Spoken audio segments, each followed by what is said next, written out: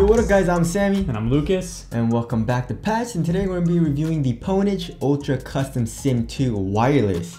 And it's this bad boy right here. It's going for 110 bucks, which is, I guess, pretty competitive if you're like looking at the main kind of like wireless mice like the G Pro wireless and the Viper Ultimate. But I guess comparing it to like the Model O wireless is a little bit more expensive. But the customization that you get on this mouse is absolutely insane. And also, if you guys want to change up the color, the extra sets are like $12 each. It comes with three plastic like different, I guess, shells. So we get a solid shell, a kind of like I guess hold shell, which I don't really like, or I get. Does anyone even like the know. honeycomb? I don't know. Yeah, Some like, people dig it, I guess. Yeah, and it's lighter. We, I guess, right? And then we have uh, the mouse button covers as well. So all links to all of them are down in the description box. Uh, but let's get started off with the shape and the shape is absolutely amazing. It's I we I'd say it's like the Viper Ultimate but a little bit higher. You know what I mean as far as the yeah. profile goes. So I think it's it's close enough to a G Pro wireless for me to where I feel just I feel right at home with this you know, and I mean, we've already talked about this a little bit because we reviewed the non-wireless version of this, and then actually the company hit us up and they sent this to us with a couple extra sets. So shouts out to Pwnage for that. But yeah, the overall shape is absolutely amazing, as you guys all know. Um, it's if you like the Viper Ultimate shape, but you wish there was a little bit more arch, then this will be a great shape. Obviously, this is a little bit lower than the G Pro Wireless, I would say. Uh, it's a little bit more like lower profile, but it's still nice. It fills the hand up nicely for palm grip. It's also really nice for a fingertip or claw grip. You know, uh, it's not the best option though. I would say the best option uh, for fingertip or claw grip is like the XM1 shape or like the MM710. Um, but this is still a very nice and overall very balanced shape, I would say. I got some big hands, and yes. this is the best mouse for me for fingertip and claw grip, better than my G Pro Wireless X Super Light. I prefer this one. Wow. Any day of the week. This is going to be, I'm just going to spoil it right here early on in the video. This is going to be my daily driver. Like, this is going to be the mouse that I use every day until something new comes out and beats it. So very, very impressed with this. And I was honestly, I was gonna daily drive the wired version of this. Now that I've got this, mm, daily driving it. Yes. Can't wait.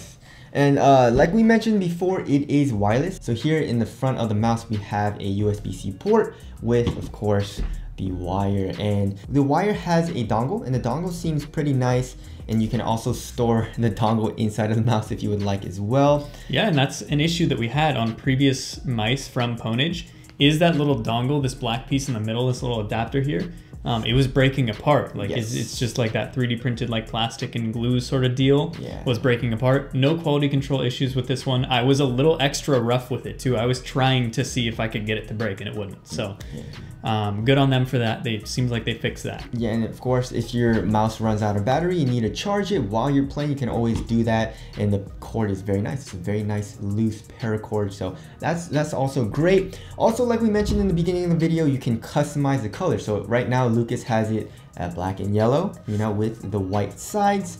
And uh, it's really easy to change up, like it's that quick, right? So of course, if you want to switch up the, the mouse button as well, you can switch it up like this. Takes like five seconds. You gotta get used to it a little bit, but once you do, it's pretty quick. And then let's change up, I guess, keep it blue, I guess, you know, and then yeah, just put on the honeycomb right there. It sticks in with magnets, boom, snaps right in place. It's that easy. And it and it doesn't feel any worse for wear, which is the important part. Because when you have things that are modifiable like this, where you can get to the internals like that, you worry about it being worse for wear every time that you do that. Um, actually, on none of their mice, um, I have I ever had issues with changing that thing out, and I've popped that thing on and off so many times. Yes. Um, it's also just satisfying to do. It's like opening and closing an AirPods case, you know. Yeah. Like, and they're not worse for wear at all. So props to them on the durability of this. Yeah, and I mean, if you change up your mouse pad or something, like as far as the color goes or your desk, it's really easy to match it up and make your mouse kind of like match with the overall aesthetic of your desk, which is really cool. If you do that, you will hit more headshots. Yeah. Keep that in mind. With the RGB, right? So of course that does uh, add to the customization. Uh, it doesn't have the weights like the wired version does, which kind of sucks. You know, it's only, I guess the only uh, weight that you can change is from the honeycomb kind of like a back shell. Uh, here where the weights are, or I guess were from the wired version, we have the battery, of course, to power the actual mouse. So there's the customization there. As far as the clicks go, we got Kailh 8.0s and they still feel super nice, very crisp. I mean, so good.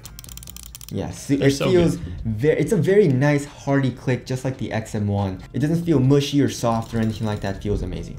And if you don't like the clicks stock and you like to change that, um, they do have button spacers in there, so you can actually change the amount of like like pre-travel, post-travel. You can change that sort of click feel.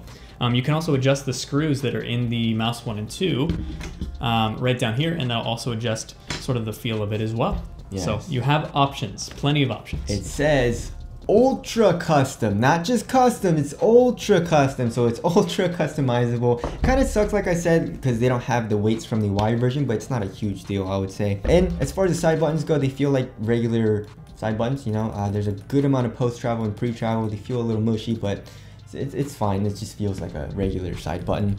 They and feel a little more responsive for me. Really? Than an average. Like I don't know. I like the click a little bit better. It's still it's just a side button. You know, yeah. end of the day. Yeah, it's easier to reach. It's it's not too small, not too large or anything. As far as the scroll wheel goes, there it, it's pretty tactile. I would say it feels pretty similar to the Model O scroll wheel. And of course, on top of the mouse, we have a DPI button for uh, changing DPI on the fly if you would like. Yep. And we've talked about Pwnage mouse before, so if you guys know about the wireless ones already, um, they do have the power switch on the bottom, uh, and you have an option to turn it on without RGB. Because it's a wireless mouse, if you want to save battery life, keep that RGB off, get you more battery life. Now, as for the RGB, um, we actually have a strip along the back that your hand pretty much does cover. Um, you've also got the Pwnage logo inside of here, so if you're using the honeycomb shell, you can you can see that. You can also see it if you pull off the cover there, as well as the scroll wheel for extra speedy scrolling. Uh, you've got RGB on the scroll wheel as well. That's probably the only one you're going to be able to see while your hand's on it. So if you're going to have any one of them on, maybe that one. Yes. Of course, you can customize all of that in their software if you would like, but you don't need to get their software. This is just plug and play. But their software got a ton better. Oh my goodness, it's so much better than it used to be. Yeah, I just had the one for the original Ultra Custom, and that software kind of sucked. Like it did what it needed to, you know, but like the UI was just terrible. Like it's so much better on this one. So if you do have to download the software, it's not like a hassle. Yeah, so now on the bottom of the mouse, we got the pure PTFE skates, one on the top and one large one on the bottom, and also one surrounding the sensor. It's extra thick, so uh, durability will be probably very good. It's rounded on the edges, so you get a very nice overall smooth feeling. It feels very quick. I mean, you, you're getting a lot you know that comes inside of the box all right so as far as the weight goes like like we said the weight can vary i guess let's check the actual weight difference between the solid shell and the honeycomb shell so the honeycomb is five grams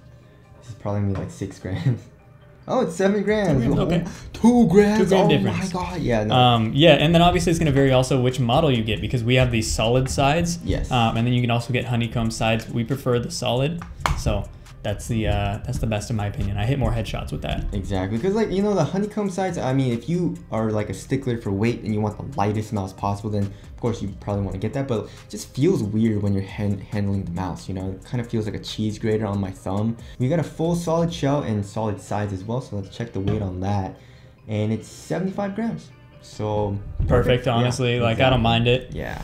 Um, if you do want to change the weight distribution or add more weight to it, um, I'd recommend the wired version of this from their website because you can add weights and you can also put more weights towards the front or the back of the mouse just depending on what you want to do. So there's more customization there. But with this, it feels balanced and I don't mind it. Yeah, and as far as the quality goes, I mean, it feels awesome. I love kind of like this like smooth finish on the cover and it just feels like amazing you know there's no quality issues there's no no rattling or anything and it just it's a great looking mouse too you know with the rgb and everything and just like the customization that you can do with the like colored shells is just it's awesome i feel like out of all the mice that i've owned this is probably the one that i get the most questions about and also there's like like gold and like iridescent like shells they, yeah awesome. they have the metallic covers yeah. those are so cool they're like 25 bucks though yeah. so they're a little more pricey but It looks sick. Overall, this mouse is absolutely amazing. It's wireless as well. Battery life is great. The shape is amazing. The clicks are awesome. The skates are awesome. It comes with a lot of stuff, extra skates. It comes. You can also customize it. It's just an overall great mouse. And for 110 bucks, you know, like probably $40 cheaper than like the like kind of gaming standard like the G Pro wireless. This is great value as well. So we would totally recommend it to you guys. Yeah, hundred percent. I seriously, I don't think this mouse could get much better. I really want to give them tips on like how to improve this guy, but the only thing I could say maybe, and this is kind of stretching it, is just like better side buttons, I guess. And also, I would love it if the power was like all the way on the bottom or all the way on the top because having it in the middle kind of like like a little bit annoying but that's like very minor quality of life adjustment and that's it so Exactly. So again, if you guys do want to get it, we'll leave a link in the description box. But that's it. Thank you guys for watching, and we'll see you guys in the next one. See you in the next one.